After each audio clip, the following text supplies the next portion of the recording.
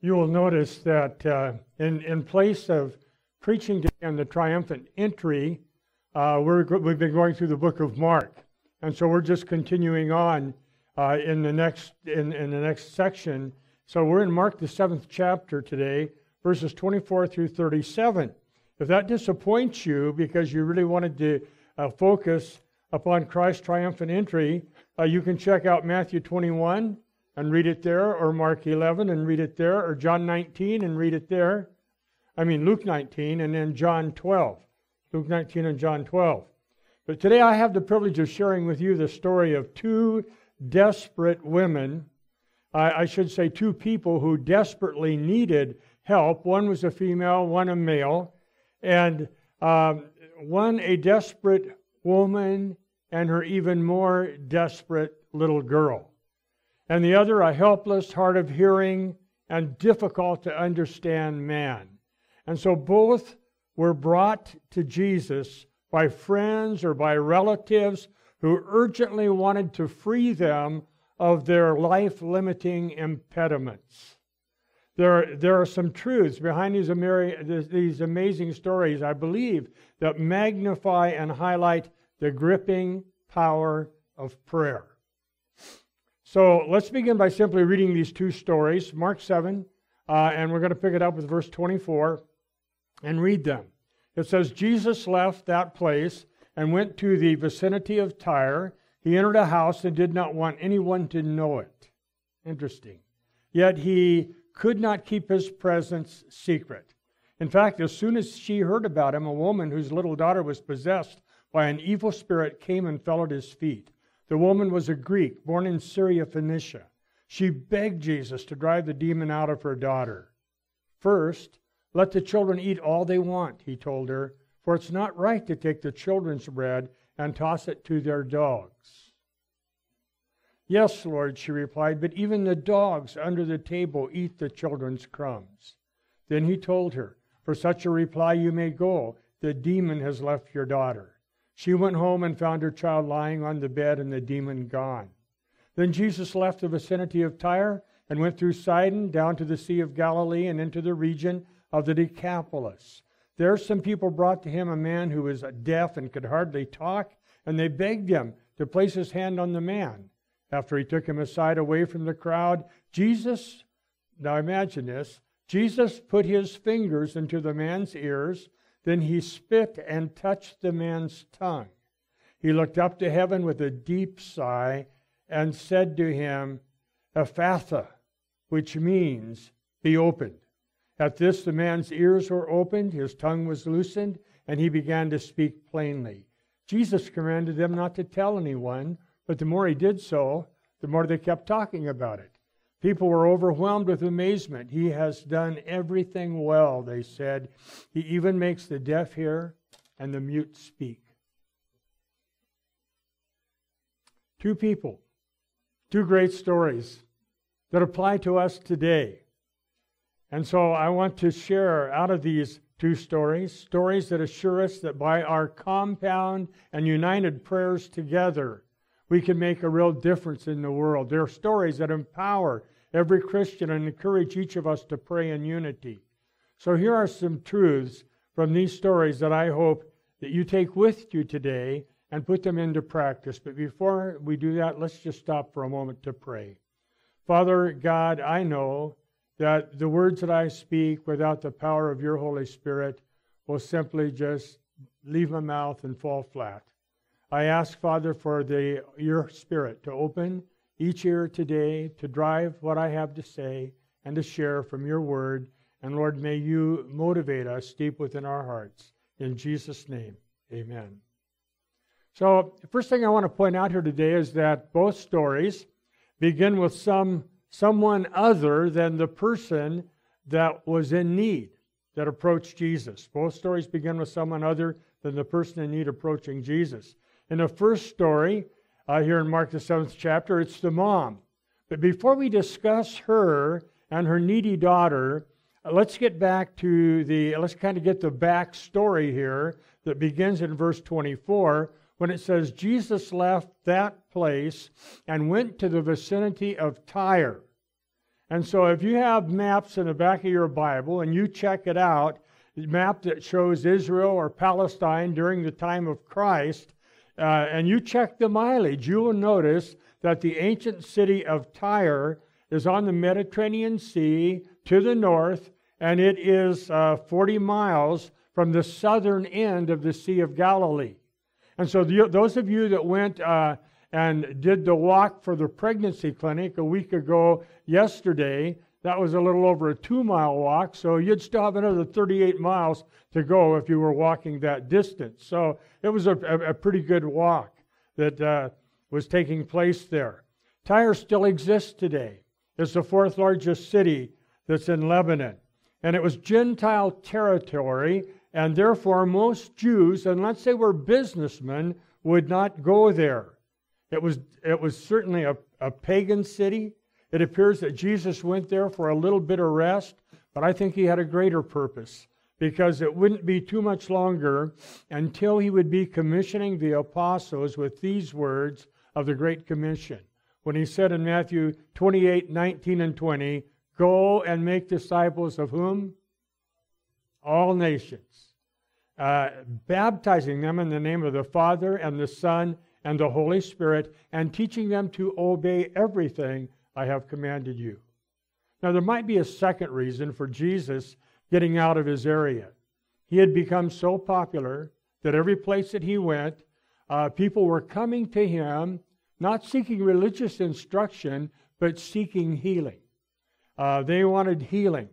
And so the, the fact was that wasn't the primary reason that Jesus came was just to heal people uh, physically, but he came to bring spiritual healing to everyone.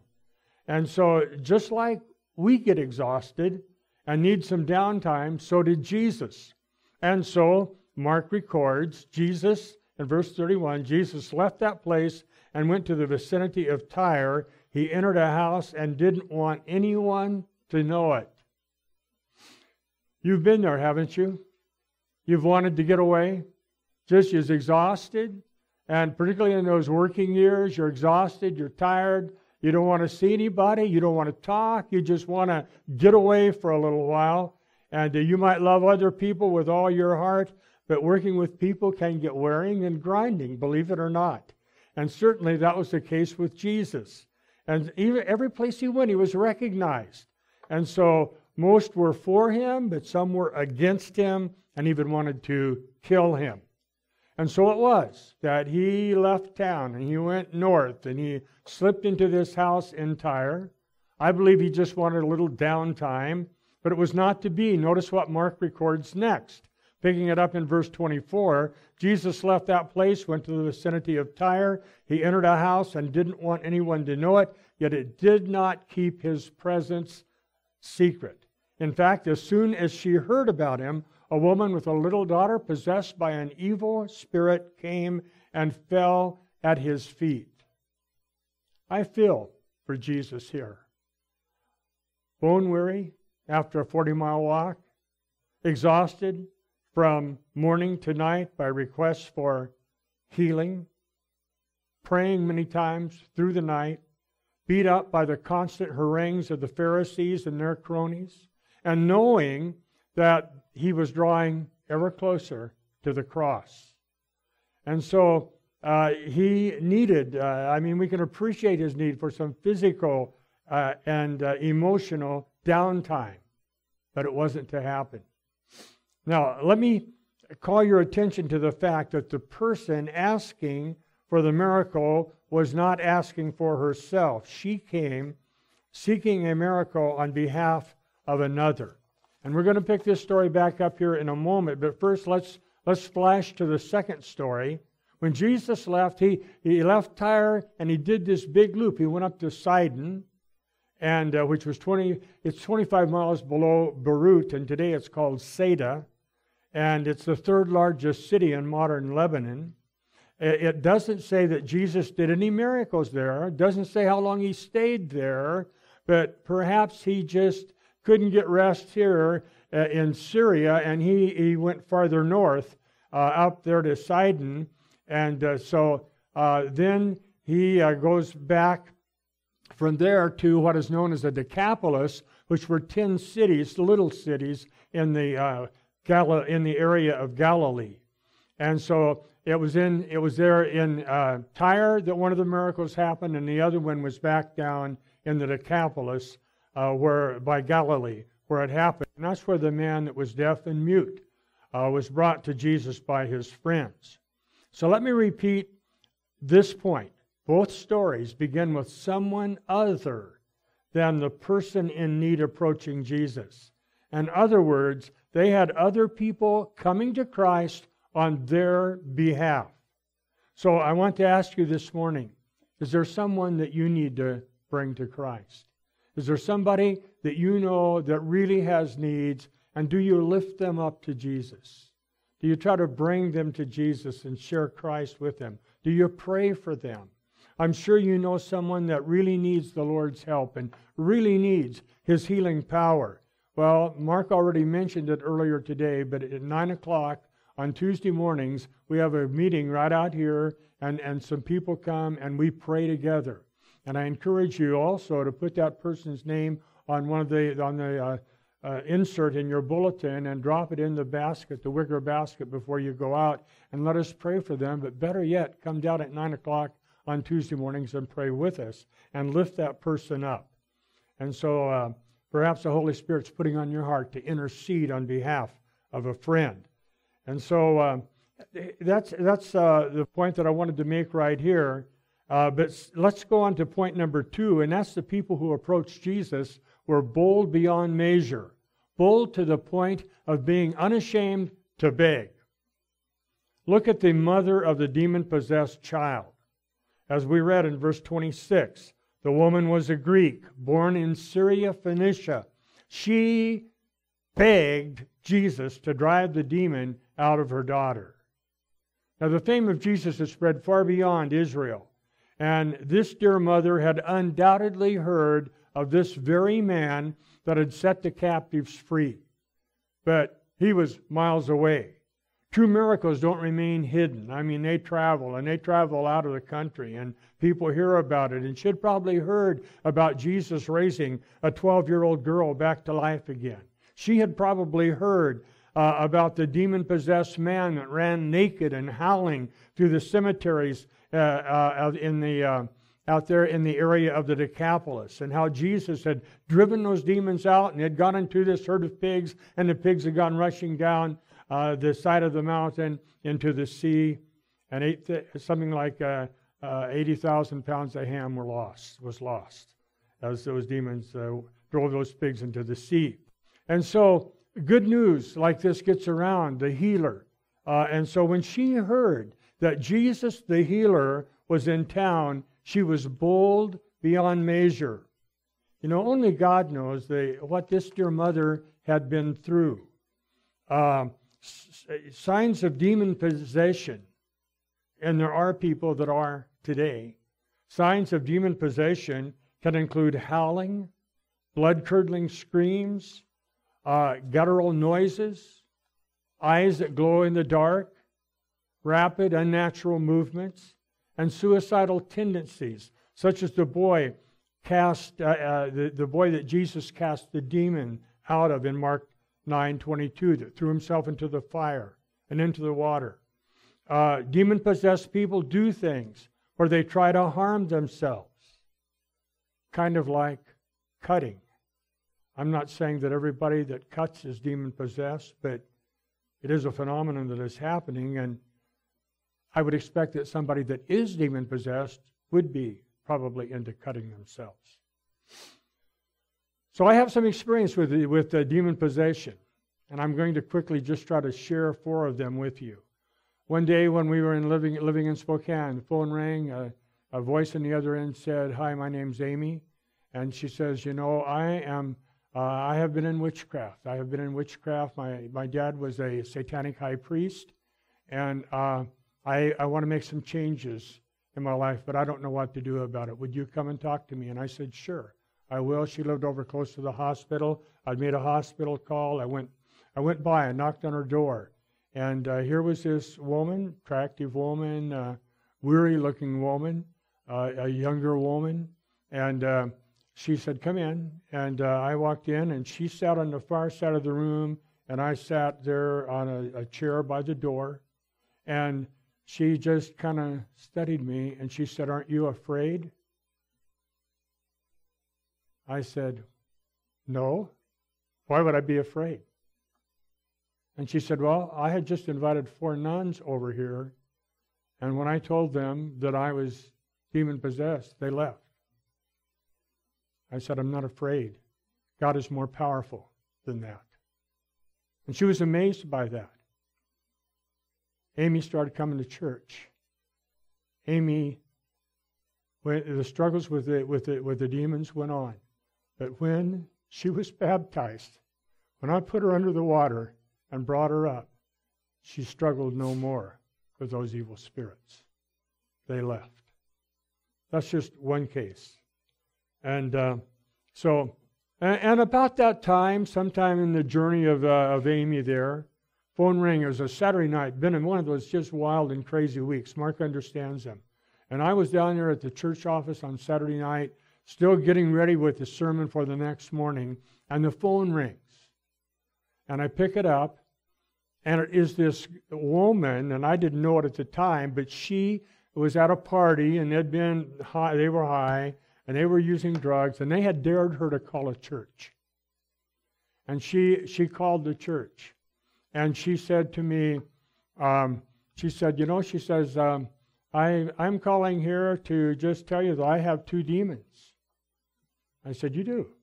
And she said, Yes, I have two demons. I know their names, I know what they look like. And I said, Well, you know what? God has a remedy for that. Uh, and uh, if you'd like to know it or if you'd like to talk about it, I'd be happy to meet with you. And so she agreed. Saturday night, she agreed to meet with me out at Cheney, where she lived, which is a little ways out of Spokane, a college town. She, she agreed to meet with me at Wendy's that next afternoon. Well, guess who I called to go with me? I called Amy. And my son Tyrone was, I think, a senior in high school, and uh, I, I took him with me. Maybe he was younger than that, I can't remember. But I took him with me, and we went out to meet at Wendy's with this demon possessed girl. She was sitting there, and at that time you could still smoke in restaurants, and she was sitting there smoking a cigarette when we walked in, and she she looked like she life was tough. She looked like she had two demons. And so we went up and talked to her, you know, and, and I remember I took my Bible and I was going to show her a passage of scripture and when I put my Bible out where she could see it, she became terrified. And she says, Get it away from me! Get it away from me! Get it away from me! And uh, I just kind of pulled it back, you know. We kept talking. And so we kept in contact. That's when she told me that she had called me on a dare. She didn't tell me the night before. But uh, she ended up coming to church. She ended up uh, wanting to be free, but she wasn't really willing to cut the ties and and pay the price. We kept in touch. She came sometimes and she moved to Seattle. I put her in touch with somebody there and she went for a little while and then disappeared and I don't know what became of her. But uh, I want to take it one more step here, folks, and that is uh, I want to tell you when I was in high school, a friend of mine had a really nice looking cousin. And uh, she lived uh, kind of between where I, I went to high school in, in Dallas, Oregon, which is about 13 miles outside of Salem. And uh, so, uh, and she lived halfway in between. And so my, my buddy Bob, he was going to go over and see his cousin. And he asked me to go with him. And, and so I thought, well, sure, why wouldn't I want to go see her? And so we went, uh, we went over there, and she had a Ouija board. I didn't know what a Ouija board was, but we played with that Ouija board. And uh, so, you know, I said to them as it started answering questions, uh, how many of you know what I'm talking about when I'm talking about a Ouija board? You can be honest with this, yeah. I said, You guys are just pushing that around to get the answers you want. They said, No, we're not. It, it's, it's going. It, it's, we're not, you know. And I was skeptical there for a little while. And finally, you know, uh, we just uh, started kidding it and we said, um, a Ouija, what? And it stopped. It just stopped. It, it we started kidding it. Ouija, why did you stop? Why, why, why did you stop? And uh, it just wouldn't move. And uh, so uh, we started laughing at it. And then uh, we said, uh, we, uh, Ouija, do you believe in God? And uh, there was no answer, you know. And finally, as we kidded it a little bit, as we had our hands on it, when we said, uh, uh, why, are, why aren't you working? And it spelled out God. God. And I'll tell you what, I said to my friends there, I said, I don't want to play with this anymore. And I just want to say, if you have a Ouija board, burn it. Burn it. If you know kids that are playing with it, it's, it's, it's, a, it's a doorway uh, into the demon world. And so I would just say, stay away from it. Um, and uh, then, then I just one other thing, and then I'm going to move this along, but that is that we were in Lemon Grove by San Diego for, a, for a, 11 years. And one night in our bedroom, I woke up and I felt nothing but terror because there was a presence beside the bed that was just, I still, I get chills on my, up my spine when I think of it. And I knew I was in the presence of absolute evil. Absolute evil. And that thing just stayed there. And I started, I started praying. Donna was asleep beside me. She didn't know what was going on. But uh, I started praying, and Lord, uh, I'm in the presence of evil, and I don't know what to do. But there is an evil force that is beside me. I think Satan is visiting in some form. I ask you to take him away. And then, by the power of Jesus' name, I ask that you remove him. And just like that, that presence was gone. But when people say they've experienced that presence, I understand. I flash back to that night, and it was terrifying. Uh, I told Donna about it the next uh, day. And so I tell you this to illustrate that only Jesus knew what this poor mother with a demon possessed daughter had been through. And so, I'm going to shift gears here again for a moment and talk about the man who was hearing impaired and pretty much unable to speak in an understandable way. He was not demon possessed. We don't know how uh, who his friends were or why they were so concerned about him, but this is what I want you to note. He had some people that really cared about him, cared enough about him to take him to Jesus. And you know, that's just one of the reasons the church and prayer is so important. And it's just one reason why it would be really good for you to be with us on Tuesdays when we pray. God wants us to have people in our corner who really pray about us and really care about us. Or we need to show that kind of love to each other. Maybe you have heard along the highway of life about the Brooklyn Tabernacle in New York. Those dear people in that church, they've got all types of people that seemed unredeemable that are part of that church. But part of what happened is that they have a 24 hour prayer ministry and they pray 24 hours a day. They have people come and they are there in the prayer room 24 hours a day. They are praying and people are being set free. It's an amazing thing. And they've been doing it for years. It's a huge church that they have there in Brooklyn. Now, as the story of the hearing impaired man begins, Jesus has returned back to kind of home territory. He's back in the Decapolis. And it says in verse 32 there some people brought to, to him a man who was deaf and could barely talk, and they begged him, they begged him to place his hand on the man. And my heart just goes out to all who have difficult hearing. Hearing is so important to communication.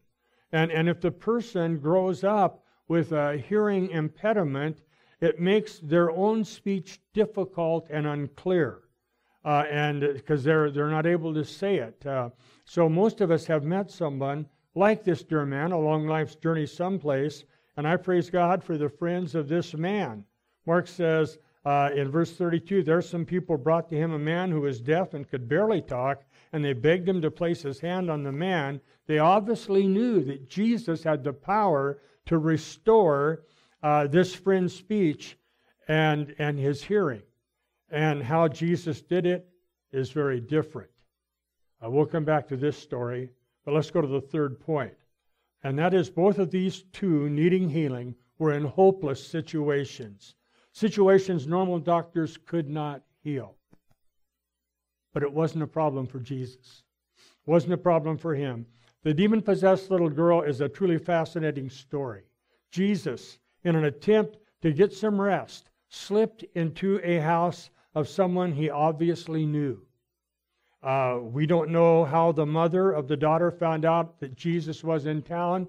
My guess is that the disciples with, went with him and they went down to Starbucks for a cup, cup of coffee, and some local businessman or woman who had been in Jerusalem and actually seen Jesus perform a healing recognized the disciples and said, Hey, didn't I see you in Jerusalem with the man Jesus? Weren't you there when he healed that woman?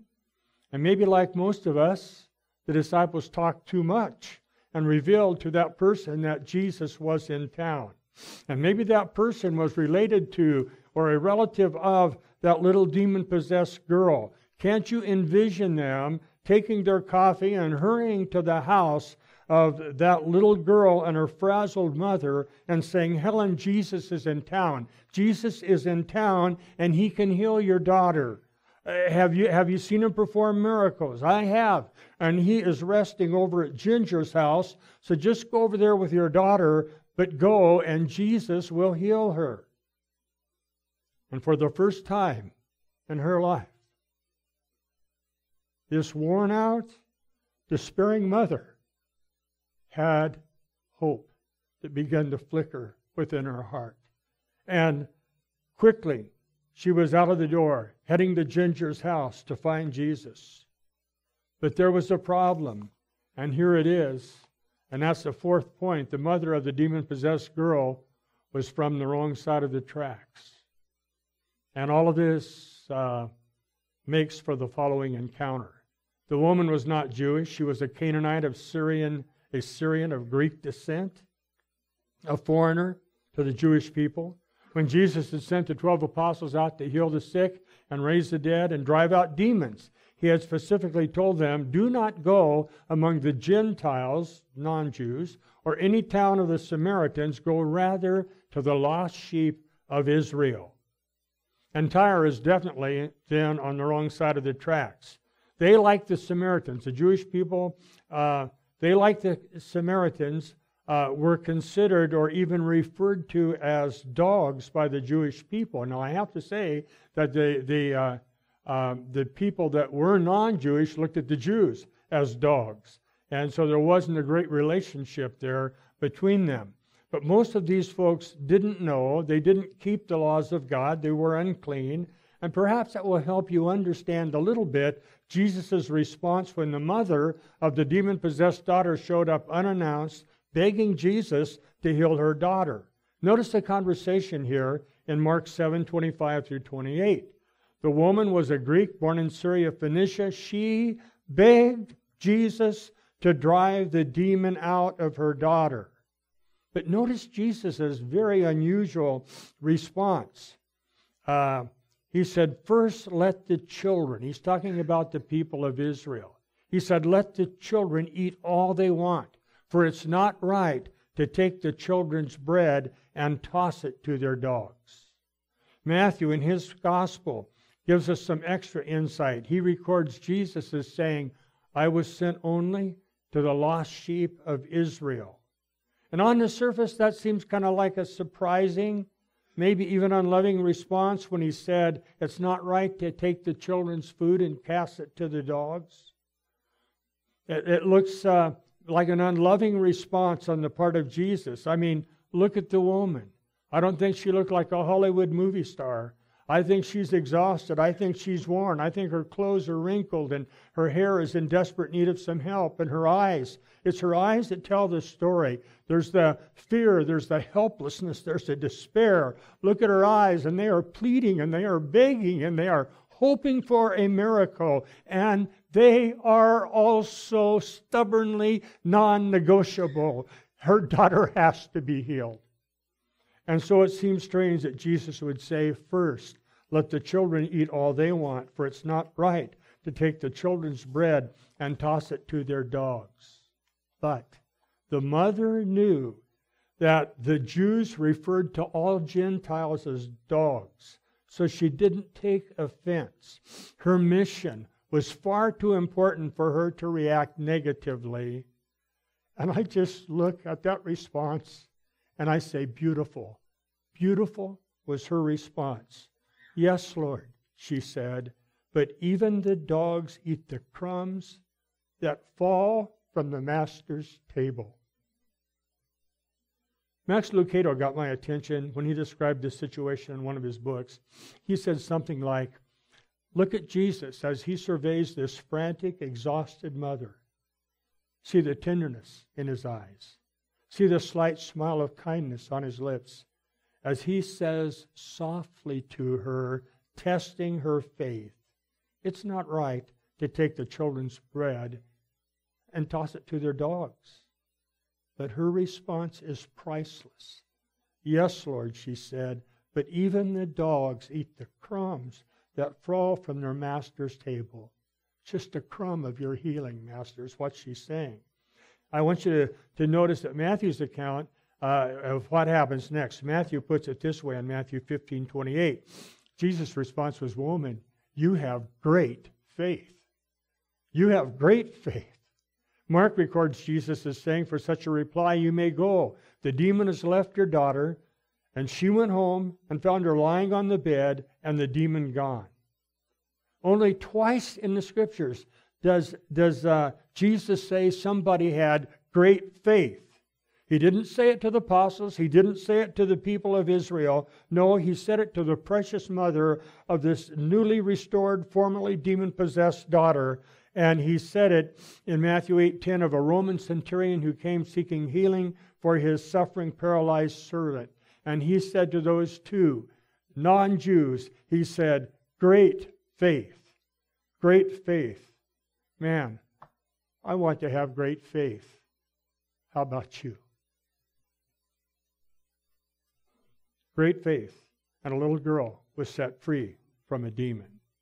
The other miracle at the end of Mark 7, the man with the hearing and speech impediment, is most unusual. In response to the urgent request of the man's friend, Jesus took him aside and did an object lesson on him. Did you catch that as we read it? His hearing didn't work and his tongue didn't work.